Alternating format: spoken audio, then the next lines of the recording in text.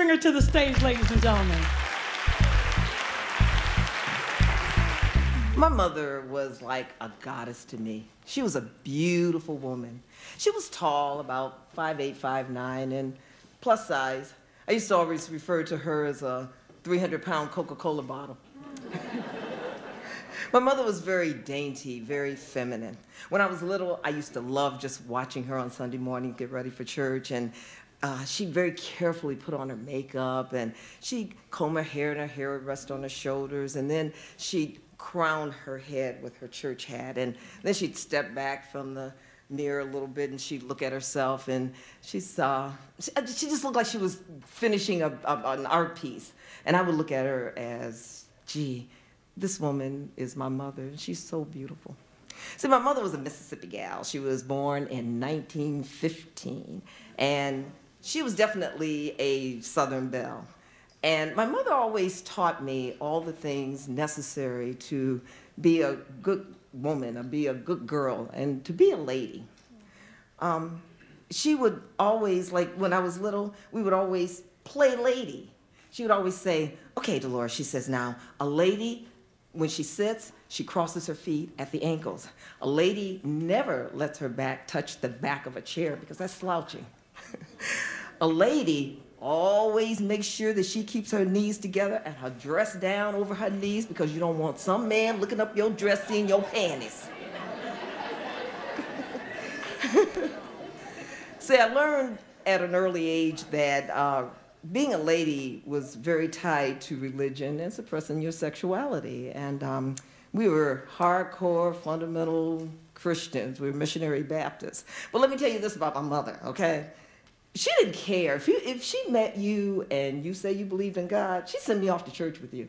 okay, so I would be at Shabbat with Mr. Cross or Catechism with Lorraine and Angela at the mosque. I mean, she didn't care. She said, baby, I'm going to send you anywhere you need to go, just so long as you can learn about God. Now, Deuteronomy, 22nd chapter, 5th verse, says that a girl or a woman is never to wear clothing pertaining to that of a man, and vice versa. So consequently, I had to play in a dress, all right? So um, that curtailed or, or had a lot to do with what I played and how I played. One day, my brother and I decided we were gonna play uh, cowboys and Indians, and so I decided I was gonna walk bow leg, you know how cowboys walk? And my mother came in the room, she said, girl, if you don't straighten your little self up, up there walking all gap leg like you've been doing something, sit down. and I'm thinking, okay, but uh, doing what? I'm six. there was another time, um, now, of course, with the dress, you're not allowed to climb because, of course, of the panty thing. And um, I was nine, and there was a fence around the schoolyard. And the kids would always climb the fence, and I wanted to try it. So I decided I'm gonna climb the fence. And besides, who's gonna know? All right.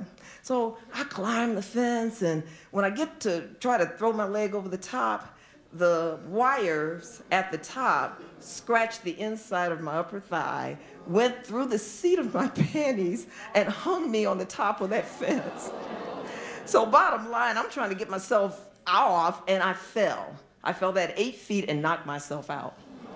I don't know how long I was knocked out, but when I came to, here I am, spread eagle, dress over my head, and I realized I ain't got no panties on.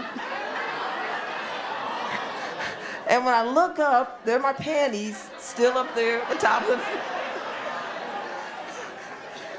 Now, now I'm hurt. I really am. I'm hurt. But that was not my problem, okay? My problem was how was I going to go home and explain to my mother why I'm all dirty and I'm walking gap leg like I've been doing something, okay? And, you know, I have no defense because I ain't got no panties on. So anyway, I get in the house, and fortunately, mother was on the phone, and uh, I was able to scoop by and, and, and change clothes and everything. But mother was the kind of person, she wouldn't say anything. She would watch you. She would watch me, and she just let her eyes follow me.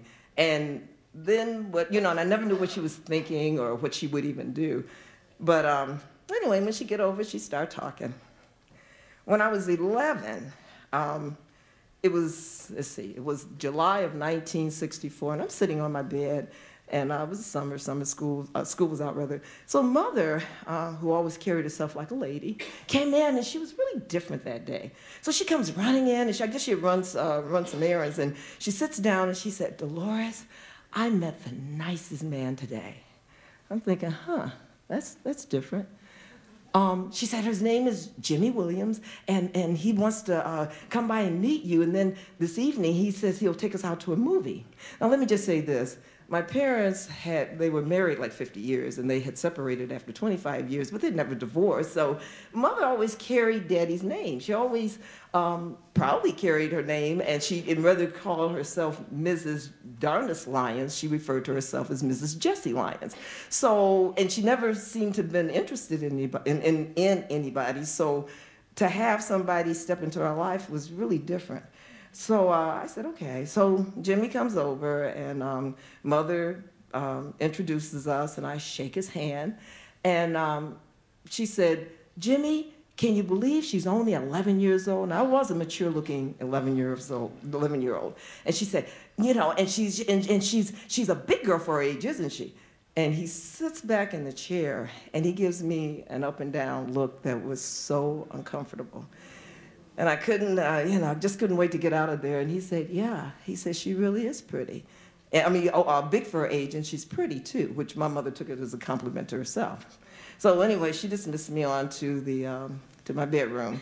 He took us out that night. But bottom line, for 18 months, Jimmy sexually molested me. And I didn't know how to tell mother because she, you know, she, she said, she says, you know, she used to tell me things too about being a lady. She said, a man will never do or say anything disrespectful to a woman who carries herself like a lady. She always taught me that, okay? So I'm trying to figure out what did I do to cause him to do this to me? I couldn't figure it out. So I was afraid to tell her. And so it went on. One time though, she did look at me and she, she um, and I figured she, she had to have known. She says, you know, Delores, she says, I get the feeling that something's going on between you and Jimmy. But she says, I, I, and I'm thinking, oh boy, I can tell her now. She says, but if I ever find out that anything's going on between you and him, I'll kill you and him both. So, of course, I'm not going to tell her now. I dealt with about, I don't know, five or six more months of, of his molesting me. Um, I stay out of his way. One day he'd come over to take her out or whatever, and I went into the bedroom.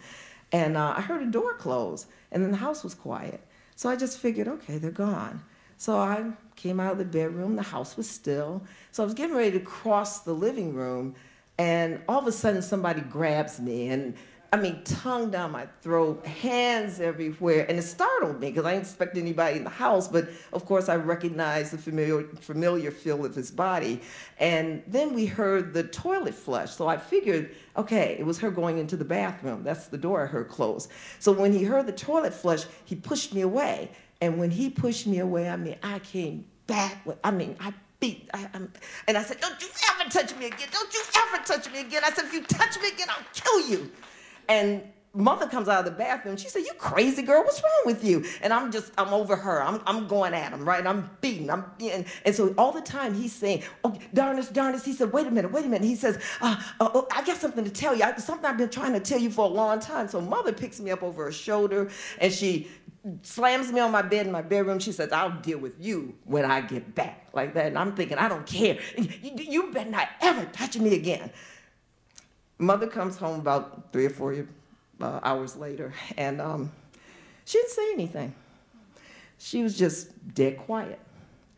And she watched me go back and forth to the living room. And when I say she didn't say anything, I mean, she didn't tell me to get up, go to bed. She didn't say, um, she didn't say anything.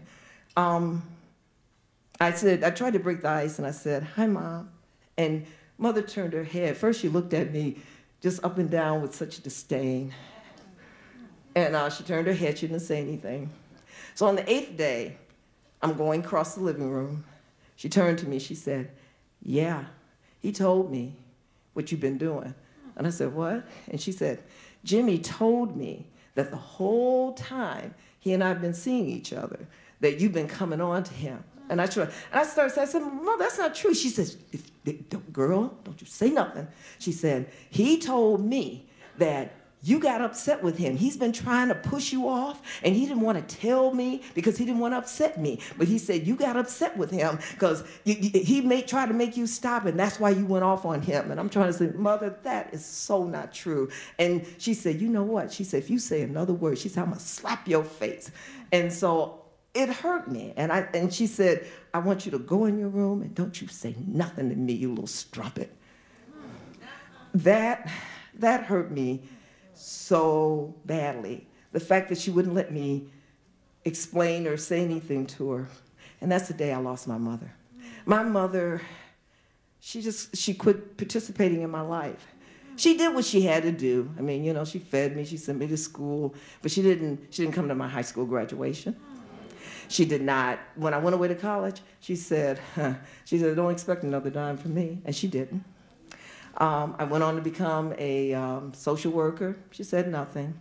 I transitioned out of social work into broadcasting, and if my stories came on TV, she'd flick it off. Um, 24 years, for 24 years, I tried my best to let my mother know that I was a good girl. I was trying to do all those things that she had taught me. And, and you know, so I moved down to Miami and I become a news reporter down there. And um, I was missing my mother. You know, we she, she and also when we talked, she she never was nice to me, but I was trying anyway. So I called her, and she the nastiest she could be, she was.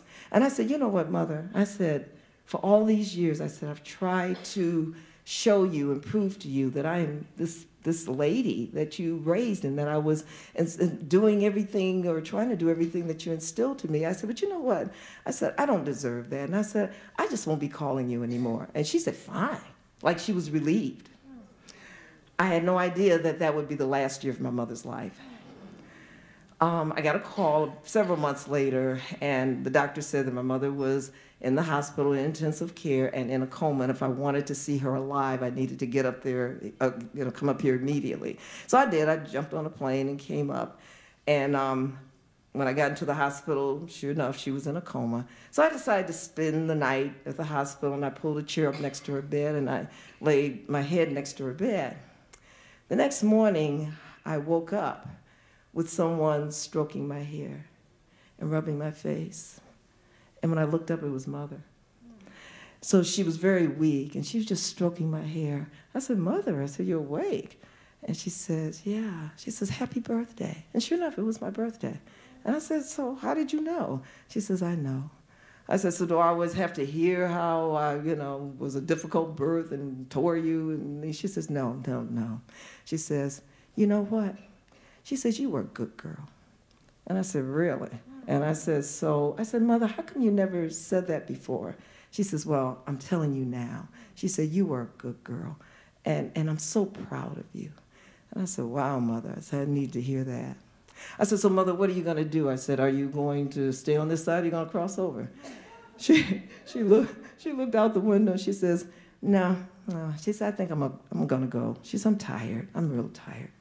So she didn't say anything after that. She eventually drifted back to sleep and went back into her coma, and she died about three weeks after that. That was 26 years ago that happened.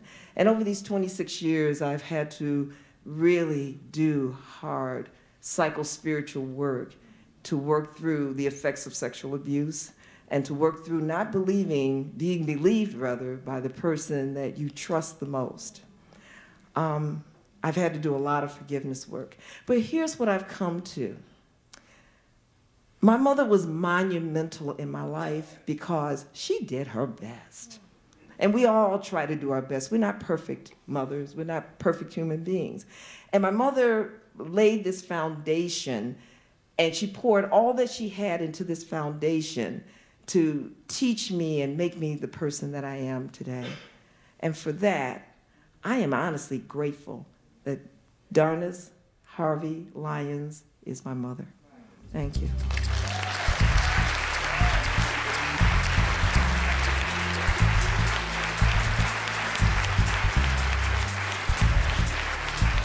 Delores Lyons.